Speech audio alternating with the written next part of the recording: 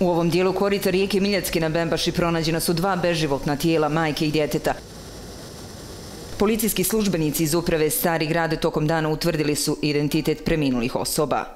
Riječ je o ženi rođenoj 1990. godine u Fojnici, nastanjenoj u Sarajevu i njenom djetetu rođenom 2021. godine. Policijski službenici nastavljaju rad na rasvjetljavanju svih okolnosti ovog događaja pod nadzorom tužioca kantonalnog tužlaštva koji je naložio obavljanje obdukcije na tijelima preminulih osoba. U 1.30 sinoć iz korita rijeke Miljacke na Bembaši izvučeno je tijelo žene i djeteta, tijelo žene srednje životne dobi i djeteta do četiri godine.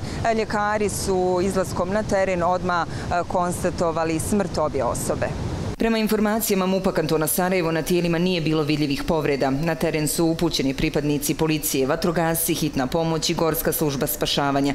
Iz GSS-a kažu intervencija se odvila brzo jer su tijela bila vidljiva na samoj ivici brane. GSS stanica Sarajevo je zaprimila poziv u 23.46 od policijske uprave Stari grad. Na terenu su se već nalazile hitna medicinska pomoć i vatrogasci.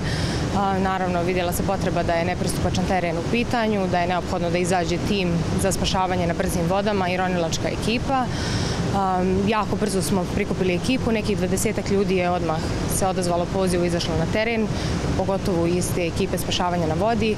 Dodatnih 30 ljudi smo imali u pripravnosti u slučaju potrebe za dodatnim angažmanom. Građani Sarajeva u šoku, vidno potreseni, navode da ih je pogodila ova tragedija. Svaki dan se raja ubijaju. Pa šta ja znam, to se dešava, to je tužno. Šta ima komentarca? Desilo se to, od koga možda neko i plaće u Miljačku, da sami upalo to nije provjereno i ne znamo kako se to desilo. Meni ko građanu, isto koji svim ostalim ljudima koji imaju nešto u sebi, normalno teško pada. Najgore je zbog ove djeci.